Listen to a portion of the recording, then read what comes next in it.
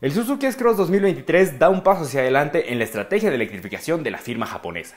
Su nueva generación fue desarrollada, y en palabras de la propia marca, a partir de los conceptos de robustez, sofisticación y versatilidad como complemento a la oferta actual de Vitara. Yo soy Gerardo García, vamos a conocerlo.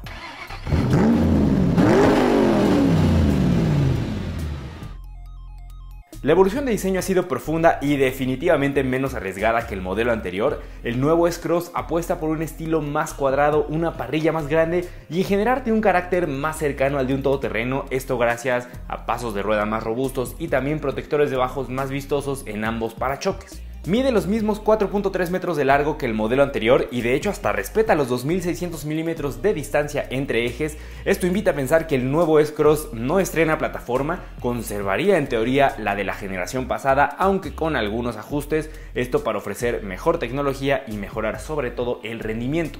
Para Europa, que será la primera región en recibirlo, va a llevar un motor turbo de 1.4 litros asistido por un sistema microhíbrido de 48 voltios. La potencia total del sistema es de 127 caballos de fuerza y 178 libras-pie. Puede llevar tracción delantera o integral all grip con modos de manejo para todo terreno.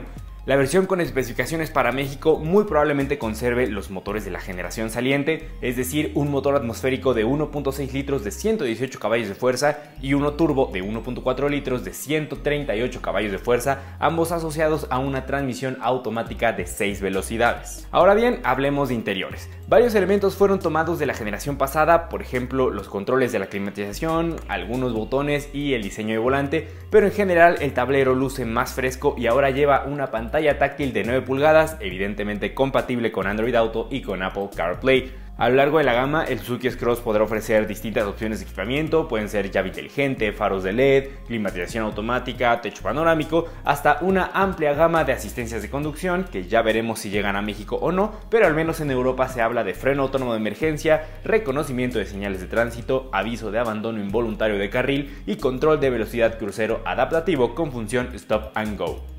La producción de este modelo ya comenzó en la fábrica de Suzuki en Hungría, donde también se produce Vitara. Las ventas de hecho arrancarán el mismo mes de diciembre en algunos mercados europeos. Posteriormente, en los siguientes meses, va a expandir su presencia hacia Latinoamérica, Oceanía y Asia. Podemos esperarlo en México en el transcurso de 2022 para complementar la oferta de Suzuki en la categoría de los B-SUV.